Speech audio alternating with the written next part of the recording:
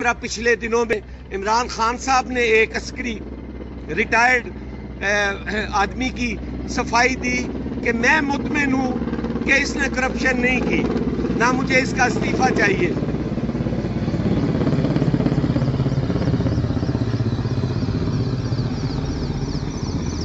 Pakistan peoples party किसी सूरत भी कौमी मुजरमों को वफाकी वजरा और वज़ीर आज़म की सफाइयों पर छोड़ नहीं सकती। हम इन्हें कटहरों में भी लाएँगे, हम इस पर अवामी रद्द अमल भी लेके आएँगे और इन ताला ऐसे लोगों को कैफरे किरदार तक पहुँचाएँगे और मजलूमों को इंसाफ दिलाएँगे। बहुत शुक्रिया